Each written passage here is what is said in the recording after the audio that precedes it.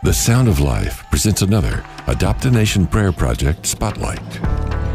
Two brothers in Indonesia, instrumental in converting more than 100 Muslims to Christianity, were arrested on March 20th after an angry mob of approximately 200 Muslims attacked their homes. On August 2nd, these two Indonesian Christians were sentenced to three years in prison for conducting evangelistic activities among Muslims.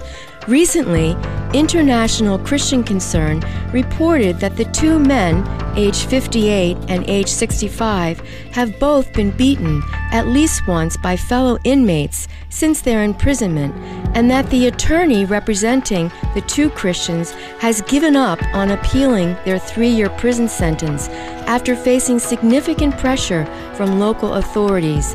The two men's families have been forced to resettle in undisclosed locations and are still struggling to cope with the unjust treatment and prison sentence. The imprisonment of the two Indonesian Christians comes as a startling shock in a nation long viewed as one of the world's most tolerant Muslim majority nations.